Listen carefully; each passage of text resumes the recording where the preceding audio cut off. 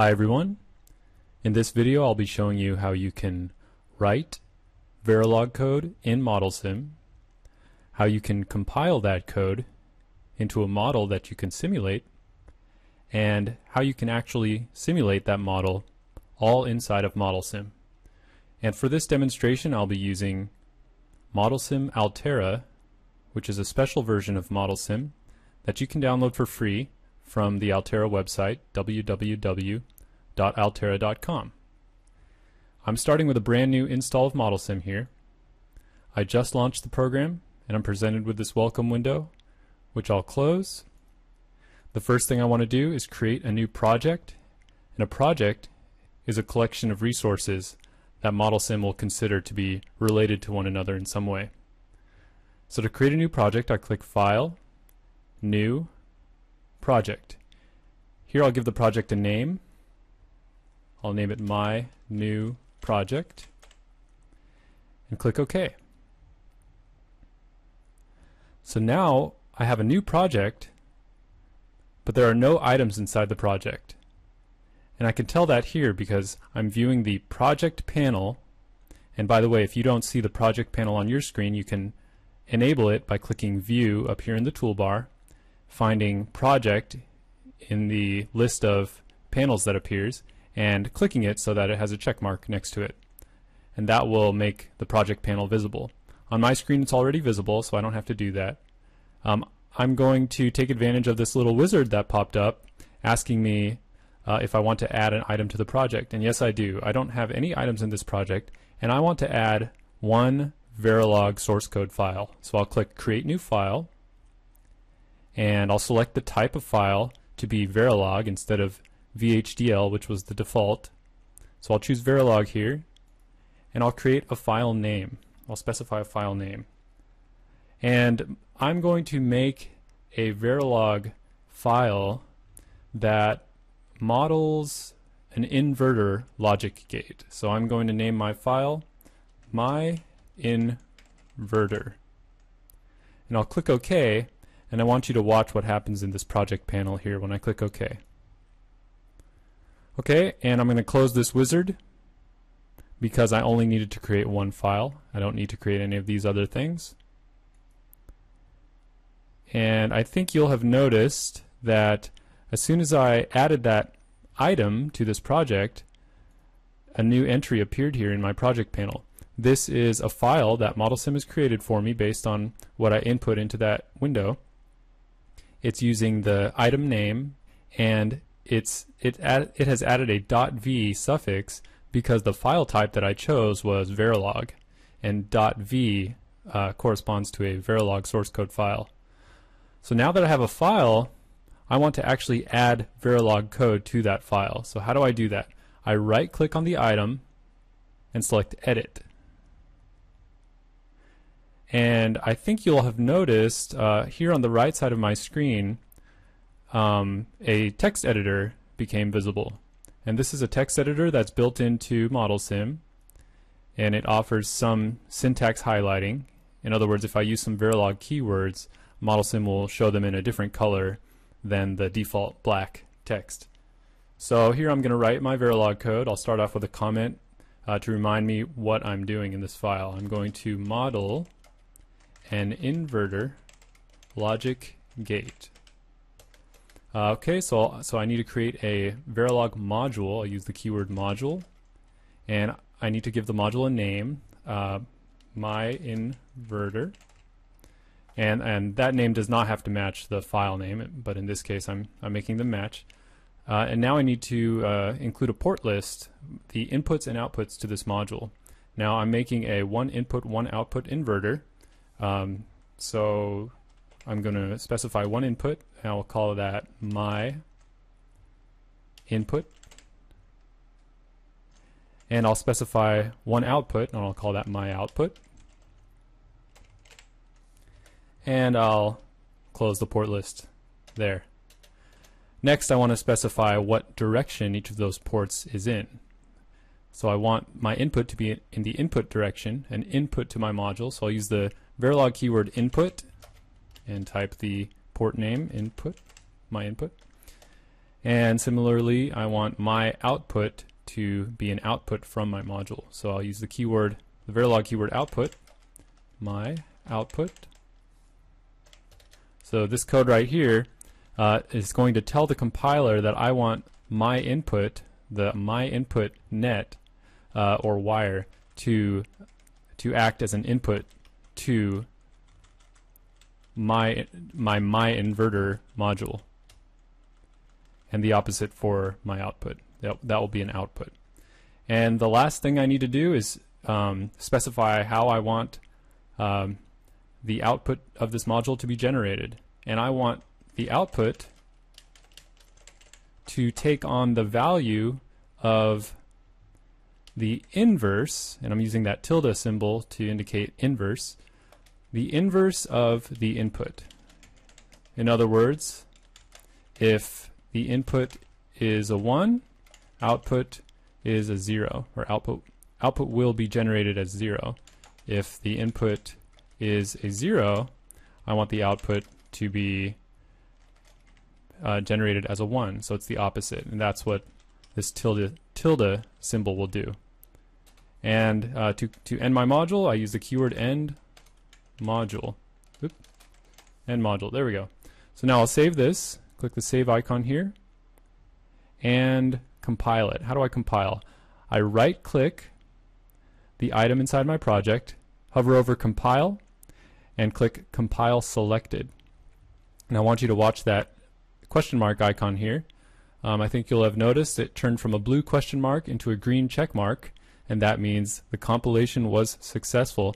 And I can also see that here in the transcript panel that compile of myinverter.v, my uh, text file, my Verilog file right here, was successful.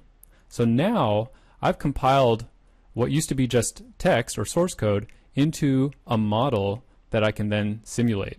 So now I want to simulate it. How do I do that? Well, I go to the the uh, library panel here, select that, and find the work library. Now work is the name of the library that I had indicated earlier in this process. Uh, at the time when I created the project, I specified that I wanted the the default library name to be work.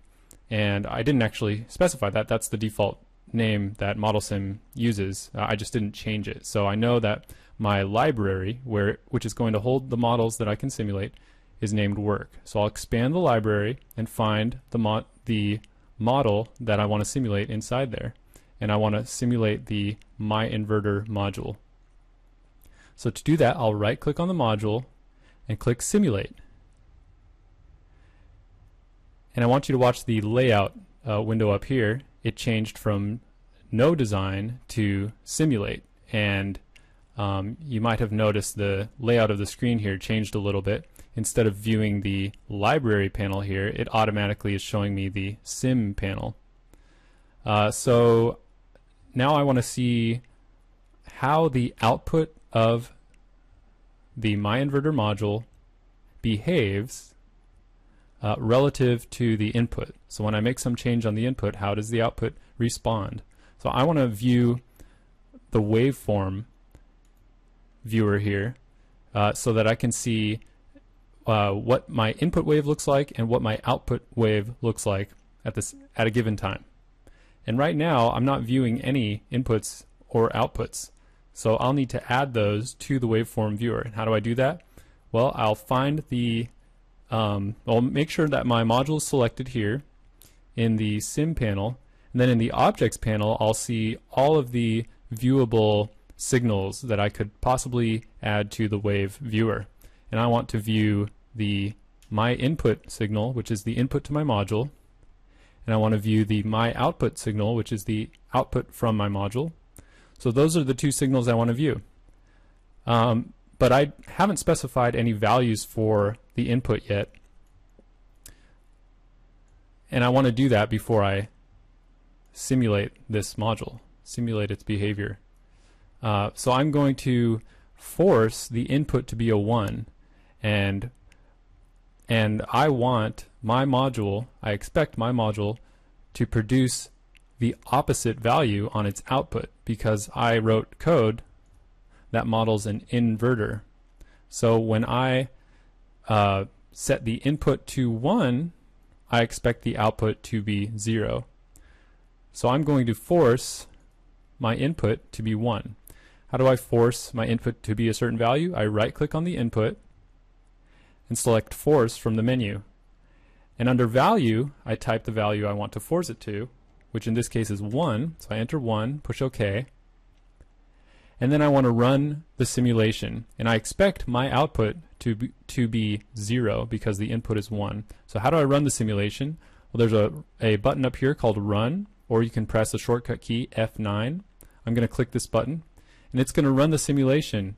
And how long is it going to run it for? It's going to run it for whatever time is written in this box. And this is uh, currently set to 100 picoseconds. And so when I run this, you'll see 100 picoseconds worth of simulation show up here. So when I run that, now you can see that little 100 picoseconds as opposed to 1 nanosecond, 2 nanoseconds, 3 nanoseconds. So just because this window is set to show uh, 3 or more nanoseconds worth of system time, I only simulated what's shown in this box, which is 100 picoseconds. So in order to see what's going on there, I'm going to zoom in with this zoom in button. I'm going to keep clicking that. And actually, I want to fit it automatically to the size of this uh, waveform viewer here, so I'll click this zoom full button, and uh, you might have noticed it, it uh, expanded to fit um, this panel almost fully. And you can measure uh, how much time was simulated. Uh, I can see here on the bottom there's a there's a time um, meter, and uh, the waveform ends at 0.1 nanoseconds, which is equal to 100 picoseconds. It's the same amount of time. Okay, so I can see that when my input is 1, my output is 0, and that is what I expect for an inverter. Now I want to simulate what happens to my output when my input is 0, and I know I expect the output to be 1. So again, I'm going to it doesn't matter where my cursor is because this, the next simulation will start at the end of the previous one. So even if my cursor is over here, the next simulation will start right here because that's where these waveforms ended. Uh, so I'm going to right click my input, select force, and under value, I'm going to set that to the value I want to force this input to be, which in this case will be 0. So I'll type 0, push enter, and I'll run the simulation again. And now I'm a little disoriented, so I'm going to um, zoom out a little bit, click zoom full so I can see uh, all the simulation I've done so far. So remember, this was the first simulation I did, which had the input set to 1 and showed that the output would be 0. And this second simulation is the one I most recently did, which has the input set to 0 and the output being generated as 1. So this module this model is behaving exactly like I want. Um, in this video, I've shown you how I can write Verilog code in ModelSim, how I can compile that Verilog code using ModelSim, which was by right-clicking on the item in my project panel, hovering over compile and clicking compile selected, or clicking this shortcut icon up here. I, I forgot to show you that earlier, but there's a compile button that does the same thing as right clicking, compile, compile selected. So I've shown you you can write the code, compile the code, and simulate the code.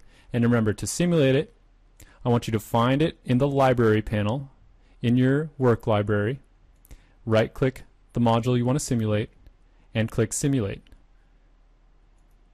Thanks for watching.